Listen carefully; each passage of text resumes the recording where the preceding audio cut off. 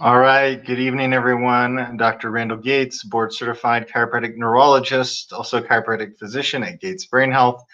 And tonight I'm talking about diabetes type 2, why probiotics don't work. Now, recently I've been talking about the liver and connections to gut bacteria. Tonight I'm going to delve further into uh, diabetes type 2 and the gut bacterial relationship and associations with probiotics. As the world of the microbiome uh, seems to expand and more and more knowledge is getting out to the lay public regarding how our gut affects our systemic health, uh, more and more people have this thought process to take probiotics. And that's a natural thought process because you're being advertised to all the time, uh, saying take this probiotic, take that probiotic and many of you are kind of wondering what is what and maybe what is the science showing. So that's what I'm trying to go through tonight. And I'm just going to type in good evening to everyone joining. Thank you for coming along with me. It's it's late here on the West Coast. Uh, so anyways, without further ado, uh, I'll bring this slide in. So this is the title for tonight, Pro Diabetes Type 2, Why Probiotics Don't Work. Um, okay, so we're gonna hide that one, show this one, and we'll reverse it. So much of the uh, discussion I'll go over tonight comes from this journal article. It's a nice synopsis. It is a little bit old. It's from 2017 from Diabetologia where they're talking about the gut microbiome as a target for prevention and treatment of hyperglycemia, which is high blood sugar, and type 2 diabetes from current human evidence to future possibilities. And so in this article, they go through a myriad of the 600 plus studies um, published at that point in time. Uh, they they comment that a lot of the work on type 2 diabetes in the gut has been done in animal models um, which sometimes translates to humans, other times completely does not translate to humans. Animals serve as a nice uh, observational piece for scientists because they can explore a lot of hypotheses and control for a number of factors, including genetics, very easily. Um, and then in this article, they say that the human studies were sparse, but they did have some conclusions that they could go through. And I'll go through those for you uh, simply. And then I'll talk about a brand new study um, looking at the effects of probiotics on type 2 diabetes. So uh, that is what we have. Um, let me bring this one in. Okay, so this is a really nice diagram from that article in Diabetologia where they talk about your genetics and how your genetics can affect your gut bacteria, the composition of your gut bacteria.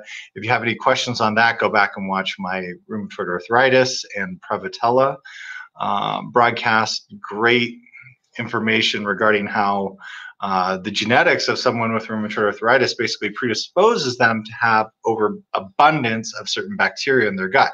And that may have significance for their disease process, it may not. But we are now learning how genetics not only interplay with the disease, but they interplay with our susceptibility to overgrowth of certain bacteria in our gastrointestinal tract. So, pretty cool. Um, we know that diet and medications can affect the, the microbiome. We know that surgery can affect the microbiome. Uh, and what can we do to prevent or treat this issue? So we have dietary changes, probiotics, that's being kicked around, uh, genetically modified therapies, glucose lowering drugs, fecal microbial transplant. That was a really popular topic a few years ago.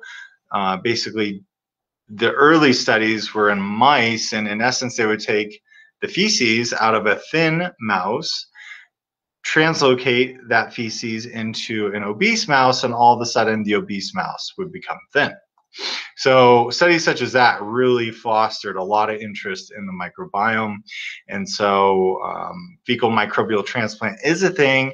Interestingly, in the United States, it's largely only used in research studies or in gastroenterology clinics uh, where they may be treating something like C. diff, uh, Clostridium difficile as it's known, or it may be used for inflammatory bowel conditions.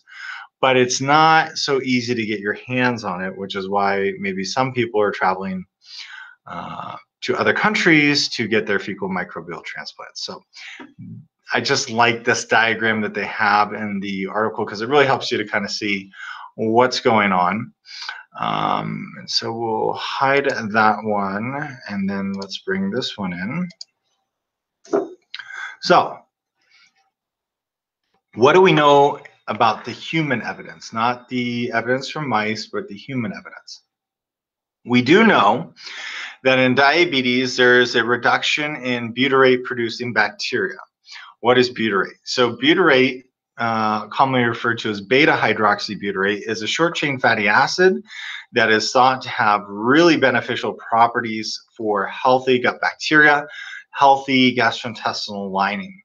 Um, because of that finding, a lot of people started consuming a lot of butter because butter is rich in a product called butyrophilin, and butyrophilin will be directly converted to beta hydroxybutyrate if there's the right uh, intestinal microbiome milieu, so to speak. So, anyways, what we do know is that butyrate, this good short chain fatty acid, is reduced in type 2 diabetes. We also know that there's a reduction in Akkermansia muciniphila, if I pronounce that right. So Akkermansia species are reduced. And we also see an increased serum uh, branch chain fatty acids from Prevotella copri and uh, I can't remember if this is a Bacteroides vulgatus, I, I believe. Uh, we do know that glucose lowering medications such as metformin, metformin, its mechanism of action has recently come under a lot of question. Uh, originally, it was thought that metformin worked largely in your liver and how your liver was releasing glucose. We're now learning that metformin has huge impacts on your intestinal barrier, uh, maybe in a, a, very positive way. And I'm not recommending it to you, I'm just trying to give you the science on it. Metformin is thought to alter the gut microbiome. So they've seen that lactobacillus species as well as Escherichia uh, species, you know that as like E. coli type bacteria, but Escherichia species are far beyond. There's many different ones besides E. coli.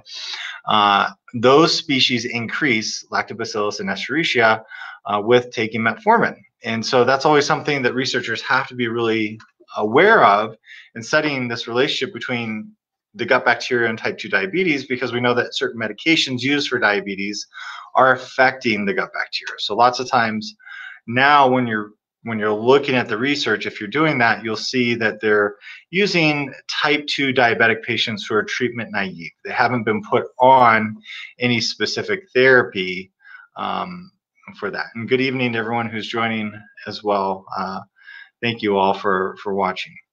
So other pieces of this are diet.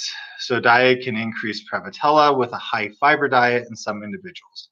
One of the classic things to look at, I haven't talked about it in a while, is the Hadza tribe. The Hadza tribe is uh, one of the most well-researched groups on the planet. I believe they're in the African Congo or near the Congo. And in certain phases of their of their season, um, meaning I believe it's the rainy season where they eat upwards of 130 grams of fiber a day. So they eat largely a vegetarian diet. They're eating a lot of tubers, as they're termed, tons of fiber dense foods, 130 grams of fiber, and they're thought to have the healthiest microbiome on the planet. Interestingly, as the seasons change and it becomes drier, they tend to eat more animal products. And when they do that, their microbiome shifts again to not as healthy of a composition. So from that, a lot of researchers are talking about, well, maybe a big aspect of type 2 diabetes, where we see that the bacteria of diabetics is different from the bacteria of people who don't have diabetes. And we know how pieces of bacteria may be breaking off, causing this thing called subclinical endotoxemia, which is creating some resistance. Maybe this is a consequence of maybe the Western lifestyle, uh, consisting of not a lot of exercise, really starch-rich foods, and low fiber. So it's thought that maybe increasing fiber can improve your gut bacteria. And then the one of the most powerful examples is, of the gut microbiome and diabetes relationship is bariatric surgery. So what researchers have noticed, particularly when they were doing the Roux-en-Y gastric bypass surgery, where the small intestine was literally transected, cut out, is that there were immediate changes in the uh, in glucose function, immediate changes in hormones, and it seemed as though people were losing weight far faster than could be explained by caloric restriction because this person was just eating less. And there have been a lot of studies on it, and even some research articles have stated that the one known cure for type 2 diabetes is bariatric surgery. So, something else to keep in mind. Uh, they talk about future possibilities and challenges. Uh, I'm not going to go into that in so much depth because I want to go over this this work from this some this thing called the PREMOTE trial. So hide that. So the PREMOTE study was done um, recently. It was conducted over 20 centers involving 566 participants. They double blinded, randomized, placebo controlled study where they were comparing placebo versus probiotics versus berberine versus berberine and probiotics. Berberine is a natural plant alkaloid.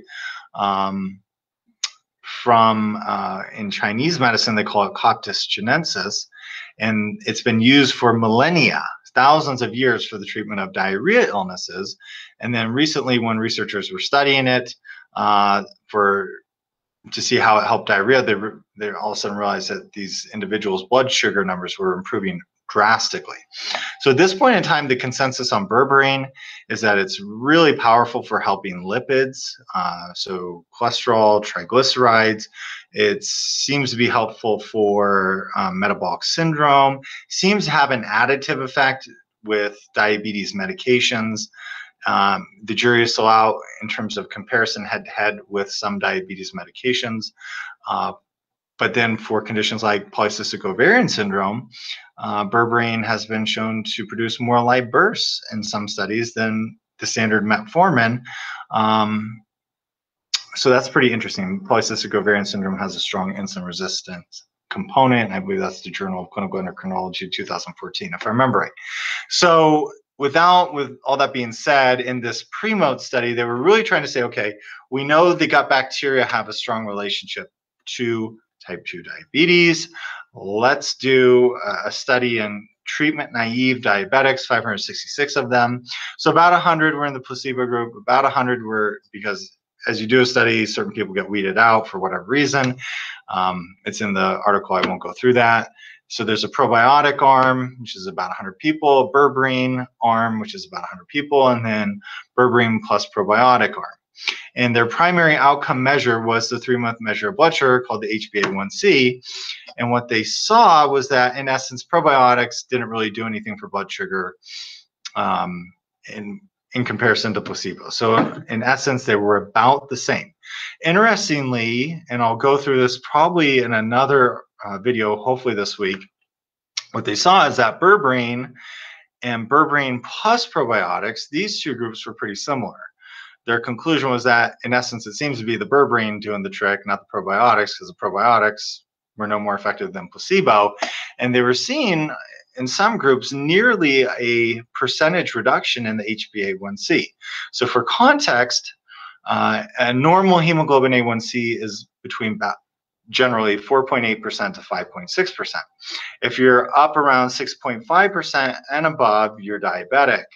Um, and a lot of these individuals were starting in the 7% range or mid 7%, so say around 7.5, and they were going down to around 6.5% just after 13 weeks. So a little, about three months of therapy with berberine or berberine plus probiotics. So pretty, pretty cool information for those of you who are investigating this relationship between the microbiome and type 2 diabetes. So in summary, uh, it doesn't seem from this PREMOTE study that probiotics are effective. Now, maybe it was just the strain of probiotics they use. So maybe they need to use different species. And that's going to be a context of discussion. Um, there are some pretty formidable supplement companies now coming out asserting that their probiotics are really effective. I've seen uh, certainly probiotics be effective in certain situations. But again, the more we learn about the microbiome, the more everyone wants to jump towards what? The silver bullet, the one simple thing. And I will say, even in the context of all of this, a lot of the research on the microbiome says that diet is one of the most powerful ways to augment or change your gut bacteria. Think of the Hadza tribe.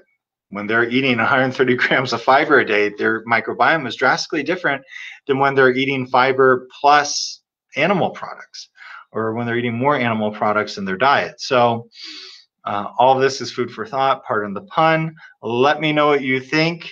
Uh, if you have information showing that probiotic, there's a probiotic therapy that I missed that is really markedly statistically significantly improving type 2 diabetes, let me know.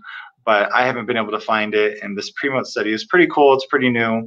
Uh, I think it's good. And when we're talking about a topic, you know, it's I try not just to pull from one study, but in this situation, again, there's not been a ton of human studies on this matter. So this is a good human study. And so that's why I wanted to bring it to your attention. So um, good evening again to everyone who joined. I hope you have a wonderful Tuesday evening, and I will see you soon.